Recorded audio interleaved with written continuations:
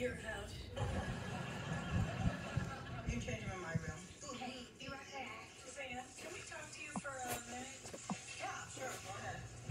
It's kind of personal. Oh. Uh, Darlene?